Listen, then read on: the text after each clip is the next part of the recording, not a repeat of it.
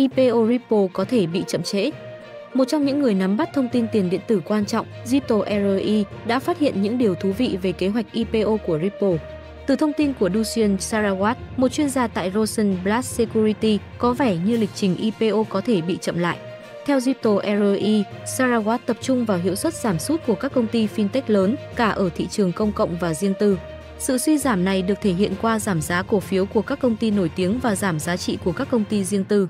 Ông nói rằng hoạt động kém hiệu quả có tác động lớn đến quyết định đầu tư từ giai đoạn khởi nghiệp đến giai đoạn kỳ lân. Trước những thách thức này, Sarawat cho rằng đây là thời điểm cho các công ty fintech riêng tư và kỳ lân, bao gồm Ripple, tiến hành IPO.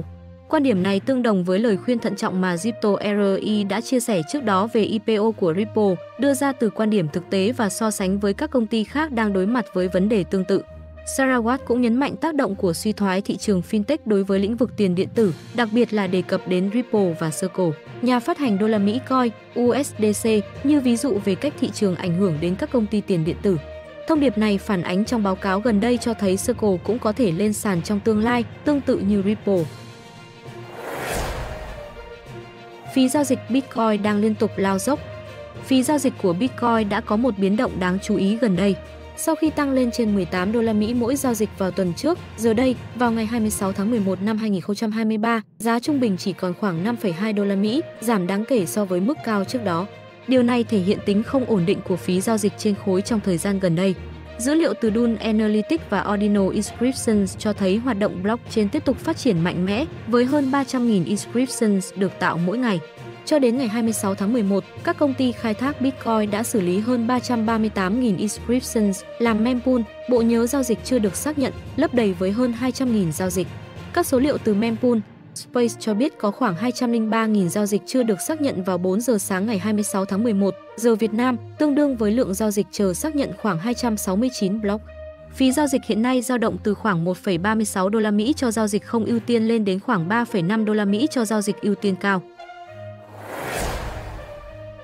Coinbase International bổ sung thêm 4 cặp futures mới. Coinbase International Exchange, một đơn vị con của Coinbase Global In, vừa thêm Cardano, ADA, Chainlink, Link, Dogecoin, Dogecoin và Stellar XLM vào danh sách tài sản sắp ra mắt của họ. Những tài sản này sẽ được cung cấp dưới dạng hợp đồng tương lai vĩnh viễn, mở rộng cơ hội giao dịch cho khách hàng quốc tế bắt đầu từ 17 giờ ngày 30 tháng 12.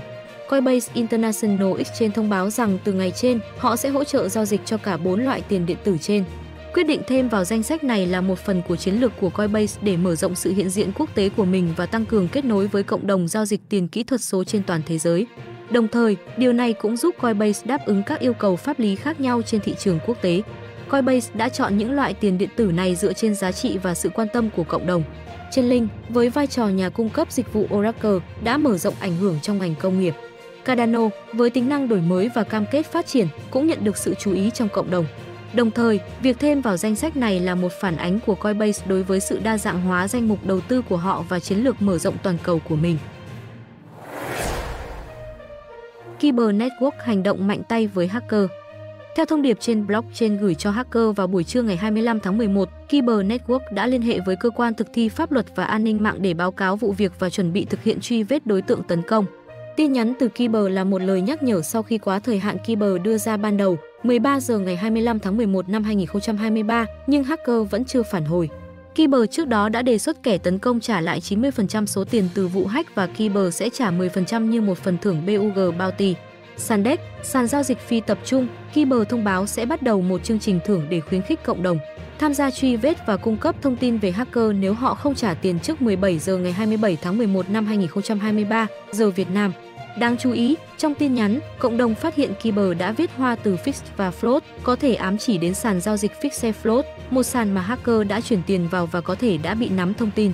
Như đã đưa tin trước đó vào ngày 23 tháng 11, sàn DEX Kyberswap đã bị tấn công, gây thiệt hại 54,7 triệu đô la Mỹ.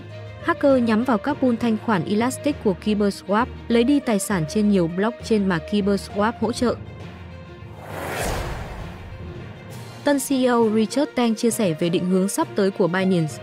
Trong cuộc trò chuyện với tạp chí Fortune, Richard Tang, CEO mới của sàn giao dịch tiền mã hóa Binance, thể hiện mong muốn thực hiện một cuộc cải tổ sâu sắc cả về cách hoạt động và quản lý của sàn. Vào ngày 22 tháng 11, Binance đã chấp nhận mức phạt lớn 4,3 tỷ đô la Mỹ từ Bộ Tư pháp Mỹ sau cuộc điều tra kéo dài từ năm 2020. Người sáng lập trang Pengzao, CZ, đã từ chức giám đốc điều hành, nộp phạt 50 triệu đô la Mỹ và bị cấm giữ các chức vụ quản lý ở Binance trong 3 năm. CZ còn đối mặt với án tù 18 tháng vì tội không áp dụng biện pháp chống rửa tiền. Ngay sau khi CZ từ chức, Richard Tang, giám đốc các thị trường toàn cầu, đã được bổ nhiệm làm CEO mới. Ông Tang đã được đồn đoán là người thay thế CZ từ trước với lý lịch pháp lý và kinh nghiệm làm việc tại Singapore và UAE. Trong thông báo nhậm chức, ông Teng đặt ra 3 nhiệm vụ chính, củng cố niềm tin của khách hàng, hợp tác với cơ quan toàn cầu để đảm bảo tuân thủ pháp luật và thúc đẩy lĩnh vực Web 3. Ông tự tin rằng Binance đã sẵn sàng cho 50 năm tới dưới sự lãnh đạo mới. Trong cuộc phỏng vấn với Fortune, Richard Teng thừa nhận Binance đã mắc nhiều sai sót nhưng khẳng định sàn chỉ mới tồn tại 6 năm và đã học được nhiều từ những sai lầm đó. Ông cam kết rằng Binance không bị chính quyền Mỹ cáo buộc chiếm đoạt tài sản người dùng, đảm bảo an tâm cho 150 triệu người dùng hiện tại.